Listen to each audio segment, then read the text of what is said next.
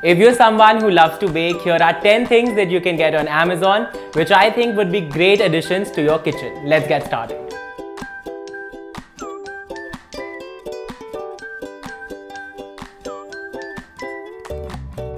So my favorite product and the first thing that you can get on Amazon is a silicone mat. It's from Amazon Basics and it comes in a box like this. It actually has two silicone mats in it and I think it's something that every baker should have.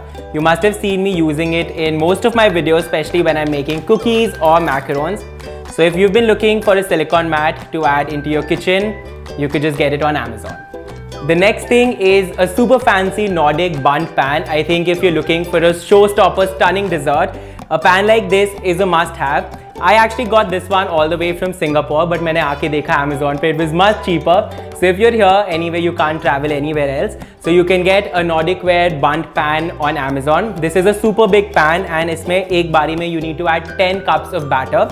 So I save it for special occasions but I think it looks stunning.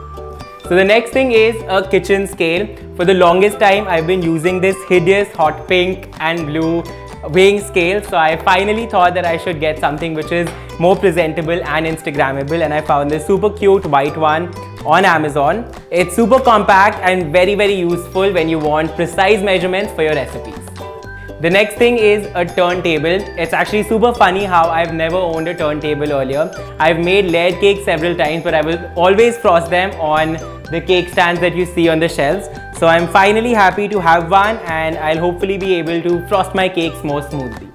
Next up is this set of three palette knives from Rena, Germany. I actually got these as a gift, but I've been using them and I love the fact that they're super sleek and easy to use. So I thought I must put them on the list because I saw they're available on Amazon. And if you're into decorating your cakes or using a lot of frostings, I think this is something you must have in your drawer. Next up is a pack of three cast iron skillets. I got them in different sizes on Amazon years back and I use them to make my skillet cookies or my brownies. I've even baked a bread in this once. You can also get individual cast irons on Amazon but I got them in three sizes and I love the fact that it gives me so much liberty to play around with. You can also use this for savory cooking. The only thing is that just read up well on instructions on how to maintain these. These are super heavy, call for a lot of maintenance. I don't end up using them every day, but whenever I use them, I'm reminded of how great a purchase it is. The great part is that you can bake or cook in this and then actually serve your dish in it as well. Next up is something that I've been meaning to get my hands on for the longest time. It's a kitchen torch or a blow torch.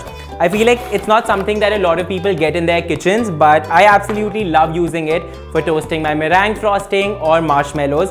I had one which I'd picked up from Food Hall years back, but now this one looks like a toy as compared to the one that I got recently on Amazon. I think this looks more professional and heavy duty, and I'm super excited to use this. Another baking tool that I feel every baker must have in their kitchen is a good quality springform pan which has a lock like this and once you open the lock you're able to release the sides and the bottom of the pan.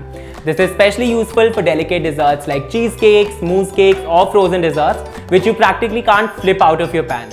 I got a set of these three different sizes which is uh, 18 centimeter, 20 and 22 centimeter on Amazon uh, which comes in a box like this and I love the fact that I can pick the size according to the size of my recipe.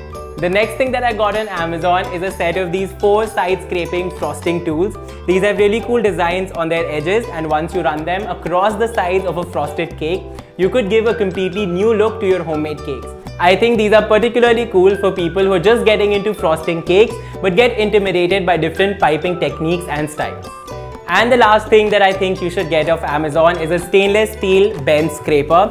I use it when I'm working with yeasted doughs. You can use this to shape them, cut them and to even clean your counters once you're done because this would help you easily scrape off any excess dough off your counters. Now you will find cheaper alternatives on Amazon but I particularly like this one because it's heavy duty, it's sturdy, it's stainless steel. It also has measurements on the sides and also a measurement equivalent chart.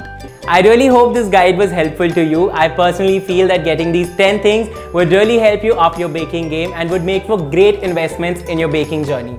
I will leave the links to all these products in the description box below so you could check them out and in case you'd want more online recommendations from me, let me know. I'll see you guys next week. Until then, happy shopping.